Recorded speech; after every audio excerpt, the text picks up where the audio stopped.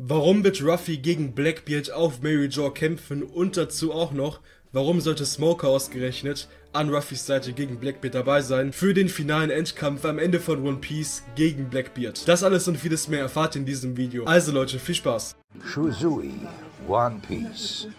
One Piece, Theorien und mehr. So Leute und herzlich willkommen zu einem neuen Video und das heutige Video dreht sich um die Sache, dass Ruffy auf Mary Joe auftauchen wird zum einen und dazu, dass Ruffy mit Hilfe von Smoker oder Corby, ich persönlich gehe eher von Smoker aus, gegen Blackbeard auf Mary Joe kämpfen wird, im Beisein von zum Beispiel Im-Summer, den Gorosei, der CP0 und der ganzen weiteren Weltregierung und der Marine, warum das passieren wird und warum auch ausgerechnet Mary Joe der Ort sein wird, an dem Ruffy Blackbeard gegenüberstehen wird, um ihn natürlich am Ende der Story besiegen zu können. Das alles besprechen wir in diesem Video, deswegen könnt ihr sehr gerne meinen Kanal supporten. Ein Like wäre sehr nett und wäre auch wirklich eine große Unterstützung. Ein Abo natürlich auch, dann würdet ihr nichts mehr verpassen.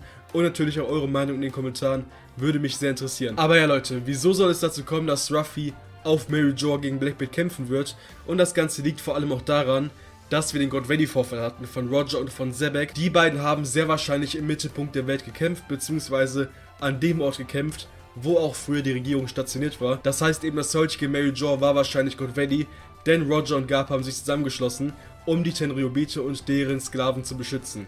Das heißt ja natürlich auch, dass auf God Ready früher die Tenryubito waren. Und wenn eben heutzutage die Tenryubitos auf Mary Joe sind, kann man natürlich sagen, dass sie früher sehr wahrscheinlich auf God Ready waren.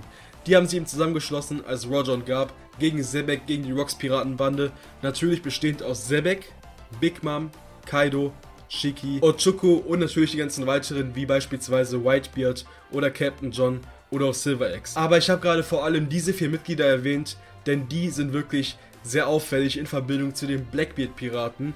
Denn zum Beispiel, wir haben Kaido, Kaido als Bestie mit Hörnern, die ja wirklich sehr über die physische Stärke kommt, mit welchem Blackbeard-Piraten kann man Kaido vergleichen? Natürlich Avalo Pizarro, auch er hat Hörner. Das gleiche geht zum Beispiel auch bei Big Mom. Big Mom ist die gefährlichste bzw. die stärkste Piratin der Welt. Und das Gegenstück zu Big Mom haben wir auch bei den Blackbeard-Piraten und zwar mit Katharina Devon als die gefährlichste Gefangene der Welt. Dazu zum Beispiel auch noch Shiki als einen der stärksten von den Rocks-Piraten sehr wahrscheinlich. Auch ihn können wir mit einem Blackbeard-Piraten vergleichen und zwar mit Shiryu. Denn Shiryu war früher Kommandant der Werte des Impel Down und Shiki war früher im Impel Down. Und da wäre es auch sehr gut möglich, dass eben auch damals Shiki durch die Hilfe von Shiryu entkommen ist. Das wäre zum einen nicht unwahrscheinlich, dazu war früher auch Shiki ein Schwertkämpfer und die beiden sollten wahrscheinlich auch, zum einen natürlich Shiryu, der zweitstärkste von den Blackbeard-Piraten sein. Und auch damals bei Shiki wäre es sehr gut möglich, dass auch er der zweitstärkste von den Rocks-Piraten war.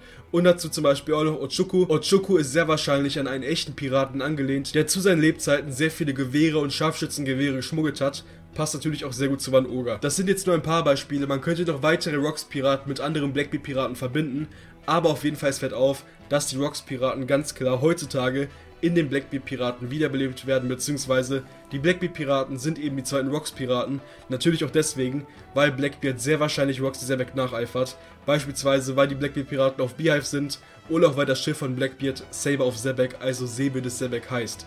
Deswegen können wir uns auf jeden Fall sicher sein, dass Blackbeard sozusagen Roxy Zebek 2.0 ist. Die Rolle von Gold Roger würde natürlich Ruffy einnehmen.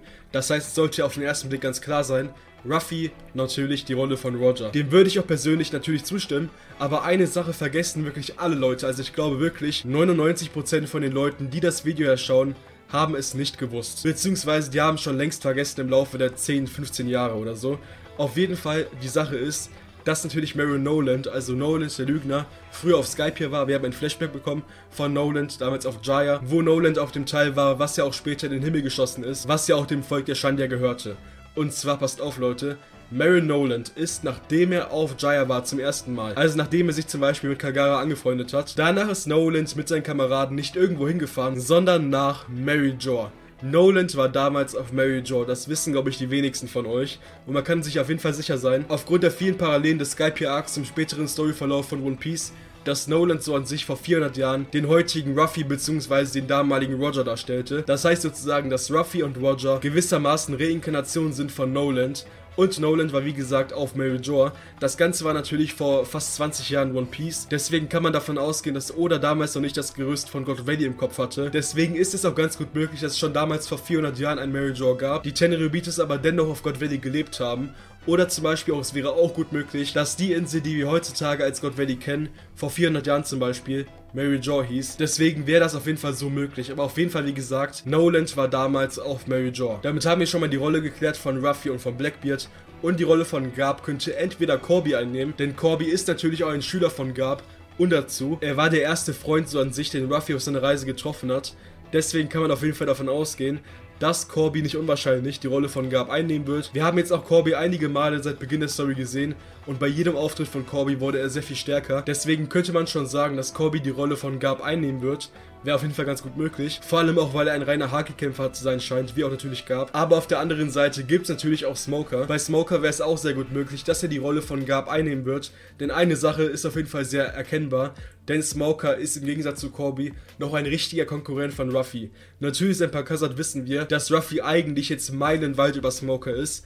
Aber wir haben gerade Smoker bei Vegapunk, beziehungsweise er sollte schon wieder von Vegapunk weg sein und er sollte ihn wahrscheinlich schon geupgradet haben. Zum einen natürlich sollte Smoker eine neue Waffe haben, denn seine Jitte wurde von Vergo zerstört und dazu natürlich auch, weil Vegapunk mit Teufelsfrüchten experimentiert, kann man sehr wahrscheinlich davon ausgehen, dass Smoker noch sehr viel stärker geworden ist und möglicherweise heutzutage auch noch mit Ruffy mithalten könnte. Das wäre auf jeden Fall ein großer Wunsch von mir und eigentlich auch gar nicht mal so unwahrscheinlich. Und dazu ist auch Smoker vom Typ her sehr ähnlich zu Gab, denn auch er hinterfragt die Marine, beziehungsweise er findet die Marine und die Regierung eigentlich schlecht, aber er hat sich dem Schlechten angeschlossen, um gegen das noch Schlechtere vorzugehen, und zwar gegen die bösen Piraten.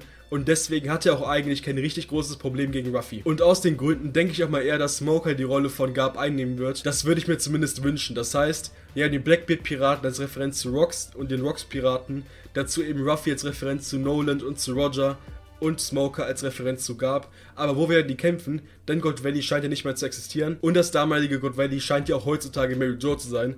Das heißt, wenn wir eins und eins zusammenzählen, natürlich, Ruffy wird gegen Blackbeard mit Smoker an seiner Seite natürlich auf Mary Jaw kämpfen. Das wäre auch, wie ich finde, der perfekte Ort für den Kampf von den Strohpiraten gegen die Blackbeard-Piraten. Denn für mich persönlich scheint die Insel Beehive von den Blackbeard-Piraten nicht unbedingt für einen Kampf gegen die Strohpiraten gemacht worden zu sein. Zumindest vom oberflächlichen Standpunkt aus, den wir auch haben, scheint Beehive jetzt nicht wirklich dafür gemacht worden zu sein, einen finalen Endkampf zum Beispiel von den Strohpiraten darzustellen. Deswegen, wie gesagt, könnte ich mir das Ganze mit Mary Jaw sehr viel besser vorstellen. Und der Kampf von Ruffy und Smoker gegen Blackbeard würde natürlich zum einen von Imsama beobachtet werden und dazu natürlich auch von den Gorosei und auch beispielsweise von den anderen Leuten, die gerade auf Jaw sind. Beispielsweise auch deswegen, weil ja auch Blackbeard die Rolle von Rox einnehmen will und somit auch eigentlich die Weltregierung früher oder später angreifen sollte. Das sollte auch wahrscheinlich der Grund dafür sein, weswegen auch Blackbeard gegen Ruffy auf Jaw kämpfen wird und natürlich, um die Tenryubitos zu beschützen, beziehungsweise um die Sklaven von den Tenryubitos zu beschützen, würde sich Ruffy mit Smoker zusammenschließen. Zum einen deswegen und natürlich auch, um die Welt vor einer Regierung von Blackbeard zu beschützen. Also an sich wäre das genau das gleiche wie auch beim God Valley-Vorfall. Aber ja Leute, was sagt ihr dazu? Könntet ihr euch das Ganze vorstellen, dass eben Ruffy mit Smoker gegen Blackbeard kämpfen wird und dass eben der finale Endkampf von den Strohpiraten auf Mary Joa gegen die Blackbeard-Piraten stattfinden wird? Wenn ja, und falls ihr das Video gefallen haben sollte, könnt ihr natürlich sehr gerne ein Like da lassen. Dazu wäre auch auch ein Abo eine große Hilfe und auch eure Meinung in Form eines Kommentars würde mich auf jeden Fall sehr krass interessieren. Aber ja Leute, danke auf jeden Fall, dass ihr bis hierhin dabei wart und ich würde sagen, das war's dann auch. Bis dann und ciao.